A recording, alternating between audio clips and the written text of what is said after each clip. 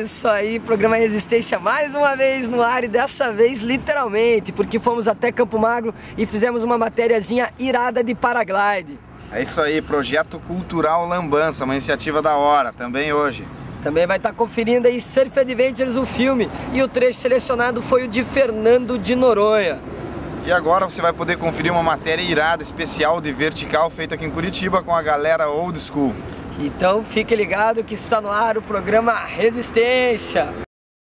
E aí galera, programa Resistência. Adivinha onde que a gente está indo agora aqui?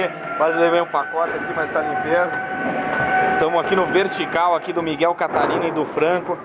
Uma matéria irada aí para vocês aí, exclusiva. É isso aí, galera.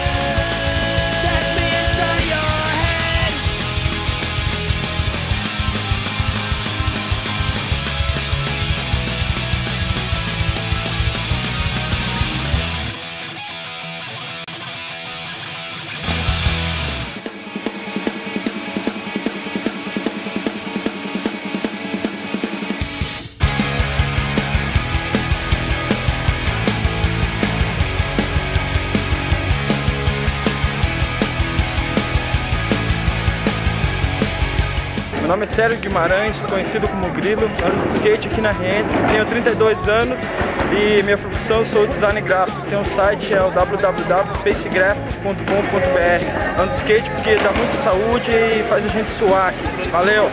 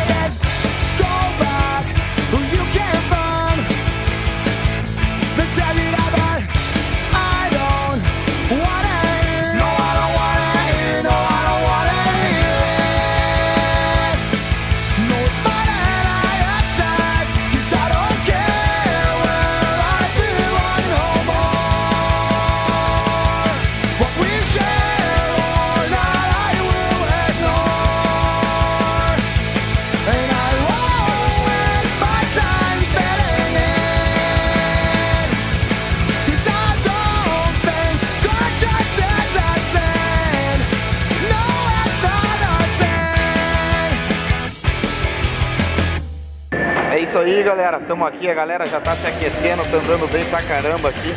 Esse aqui que tá do meu lado é um brother nosso aí, o Miguel Catarina. Ele é veterano no skate, galera. Ele anda desde as antigas, principalmente na modalidade vertical aqui. Miguel, quanto, quanto é a altura que tem esse Ralph aqui? Esse Ralph tem 4 metros de altura. 4 metros. Por 8,80 de altura. Certo. Tem esse aqui tem uns 40 centímetros mais alto, uns 4,40. Certo, uns 4,40 então no total aí. Miguel, vai dar uma manobra boa aí pra galera aí. Qual que é o nome da manobra aí? Bom, galera, eu vou tentar dar um heel flip ela aí, o Ninja.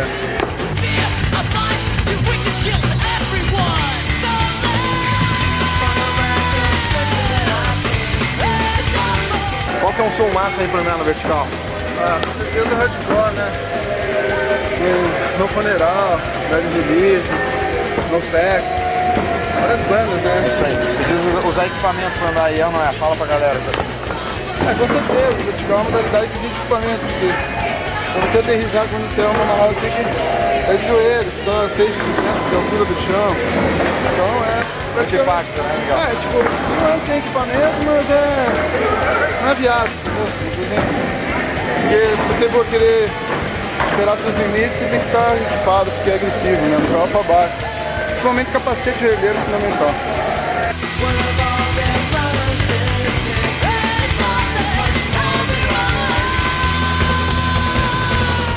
Skate pra mim é.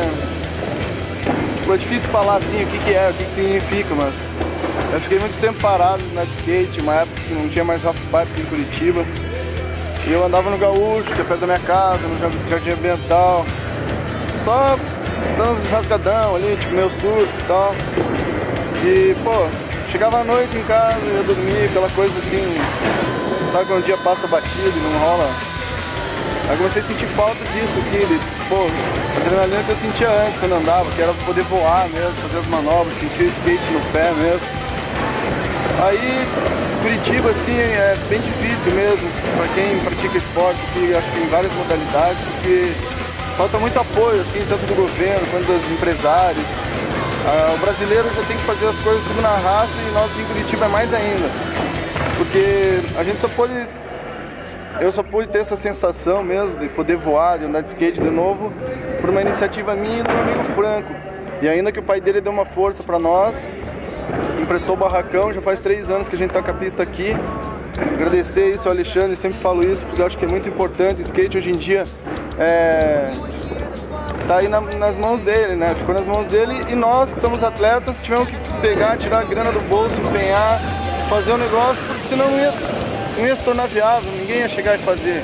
Então eu acho que os empresários eles visam muito o street, o comercial da coisa. E esquecem desse lado vertical aqui, pô, o cara tem que ter muita vontade para evoluir, tem que ter muita persistência, né? Então acho que, pô, skate na minha vida, assim, eu ando por amor mesmo, é a sensação que, lógico, tem a outra parte, assim, né? Mas é a sensação do dia a dia, que você está aqui com os amigos, andando, suando. E é isso aí, galera. Skate pra mim é diversão acima de tudo e é uma, uma terapia.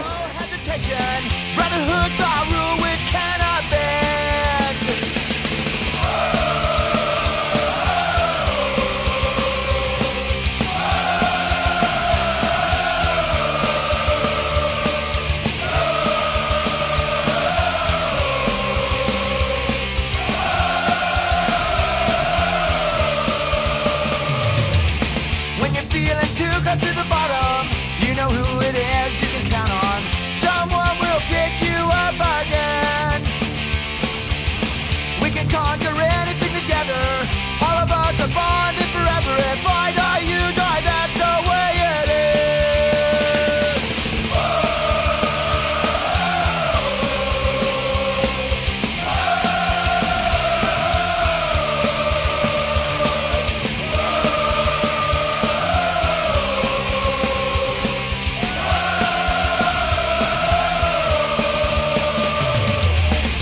Present, past, and beyond.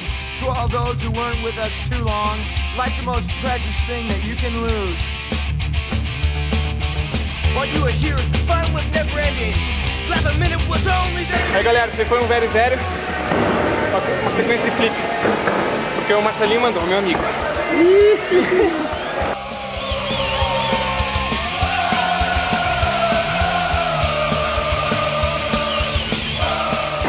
dar uma madona.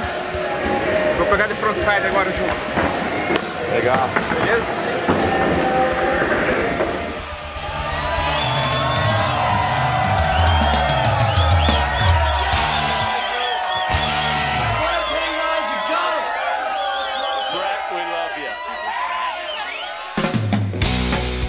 Vai dar alguma manobra agora aí? Fala aí.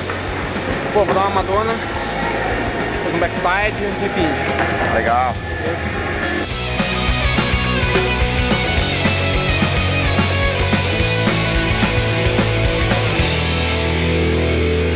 Came in from rain Thursday on the avenue. Franco, como é que é o método, cara? O método tem que dar uma esticada, o corpo pra trás. Mostra pro pessoal que está assistindo aí como é que é o método. Primeiro você tem que pegar um impulso legal assim, né? Depois que você pegou esse impulso, você dá um aéreo, projeta o seu corpo para catar o skate um pouquinho depois do um backside normal, que seria aquele assim, né? Mas você projeta o corpo, pega o skate mais em cima, estica esse braço aqui que é o braço dele, equilíbrio, mais ou menos igual ao snowboard. Uma manobra bem característica do snowboard. Legal, manda ver um pra nós lá, Franco. Manda ver um pra nós. Isso. Manda uma irada lá. Espera um pouco, hein, tá? Irada lá, Franco!